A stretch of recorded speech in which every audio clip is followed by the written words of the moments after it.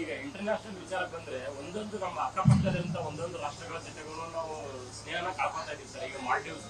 ಮೋದಿ ಅವರು ಹೋಗಿ ಬಂದ ನಂತರ ಮಾಲ್ಡೀವ್ಸ್ ಕೂಡ ನಮ್ಮ ಮಿತ್ರ ರಾಷ್ಟ್ರ ಮತ್ತು ದೂರ ಆಗ್ತಾ ಇದೆ. ಏನಾರ ಪರಿಸ್ಥಿತಿ ಸರ್? ಇಲ್ಲ ಈಗಾಗಲೇ ನಾ ರಿಯಾಕ್ಟ್ ಮಾಡಿ ನೀವು ಬಹುಶಃ ಓದ್ಲಿಕ್ಕೆ ಇವತ್ತಿನ ಇದರಲ್ಲಿ ಕೂಡ ಇದೆ.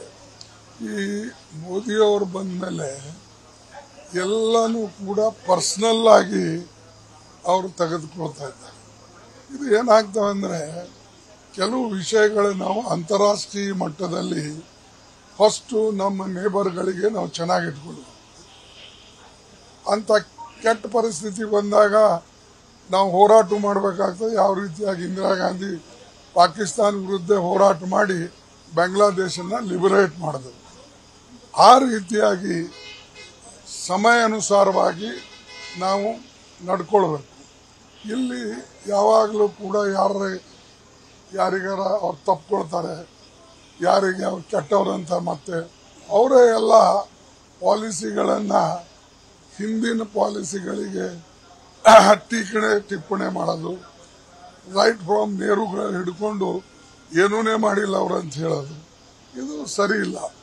ನಾವು ನಮ್ಮ ನೇಬರ್ಗಳಿಗೆ ಚೆನ್ನಾಗಿ ಇಟ್ಕೊಳ್ಬೇಕು. ಯಾಕಂದ್ರೆ ನೇಬರ್ಗಳು ಬದಲಾಯಿಸ್ಲಕ್ಕಾಗಲ್ಲ. ನಿಮ್ಮ ಮನೆ ಪಕ್ಕದಲ್ಲಿ ಯಾರು ಇರ್ತಾರೋ, ಇಲ್ಲ ಅವ ಮನೆ ಬಿಡಬೇಕು ಅದು. ಅದು ಈಜಿ ಇದೆ. ಆದ್ರೆ ದೇಶಗಳು ಭೌಗೋಳಿಕವಾಗಿ ನಾವು ಒಂದು ಇಂಚಿಂಚು ಜಾಗಕ್ಕೆ ಹೋರಾಟ ಮಾಡ್ತೇವೆ.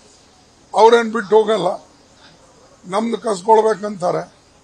ಅದಕ್ಕಾಗಿ ನಾವು ನಮ್ಮ ನೇಬರ್ಸನ್ನು ಬದಲಾವಣೆ ಮಾಡಕ್ ಆಗೋದಿಲ್ಲ. ಯಾವುದೇ ರೀತಿಯಲ್ಲಿ ನಾವು ಒಂದಾಗಿ ಹೋಗಬೇಕು. ಮತ್ತು ಅವ್ರು ನಮ್ಮ ಮೈ ಮೇಲೆ ನಮ್ಮ ರಾಷ್ಟ್ರಕ್ಕೆ ತೊಂದರೆ ಬಂದಾಗ ನಾವು ದೇಶದ ಐಕ್ಯತೆಗಾಗಿ ಮತ್ತು ದೇಶದ ಸುರಕ್ಷತೆಗಾಗಿ ಹೋರಾಟ ಕೂಡ ಮಾಡಬೇಕಾಗ್ತದೆ.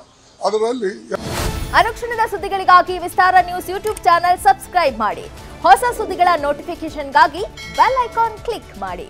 Latest ಅಪ್ಡೇಟ್ಸ್ಗಾಗಿ W W W dot Vistara news dot com ವೆಬ್ಸೈಟ್ಗೆ ವಿಸಿಟ್ ಮಾಡಿ.